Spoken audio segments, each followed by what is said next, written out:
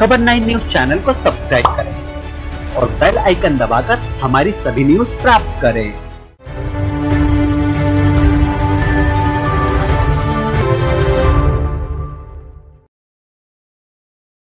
नमस्कार आप देख रहे हैं खबर नाइन और मैं हूँ आपके साथ प्रीति शर्मा। ज़िले में लगभग 400 करोड़ के डीएपी खाद का plant Krishna Phoschem limited company Meghnagar में आ रहा है। बुधवार को कलेक्टर सोमेश मिश्रा, पुलिस अधीक्षक आशुतोष गुप्ता अवलोकन के लिए यहाँ पहुँचे एवं मैनेजिंग डायरेक्टर श्री अनिल दुबे से इस प्रोजेक्ट के बारे में जानकारी भी प्राप्त की। ज़िले के लिए एक बड़ी उपलब्धि होगी, जिससे बड़ी संख्या में रोज़गार भी उपलब्ध होगा।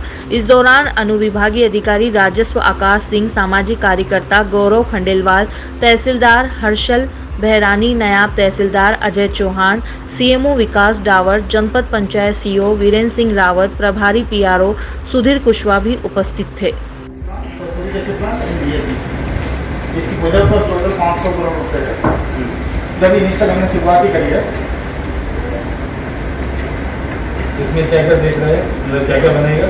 सर इसमें सल्फ्यूरिक एसिड बनेगा थाउज़ेंड टन सल्फ्यूरिक एसिड जो मेरा कैप्टिव का नुकसान होगा उससे फिर फॉस्फोरिक एसिड बनेगा रॉक एंड सल्फ्यूरिक के रिएक्शन से फॉस्फोरिक बनेगा थाउज़ेंड टन जो वो भी कैप्टिव होगा और फाइनल प्रोडक्ट जो बनेगा वो ये रोज का एक हज़ार टन तीन लाख तीस हज़ार टन डी अगर बोरियों में करें इसको तो बोरियों में कितनी क्षमता रहेगी?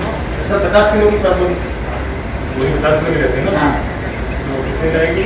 तो एक पैसा करते हैं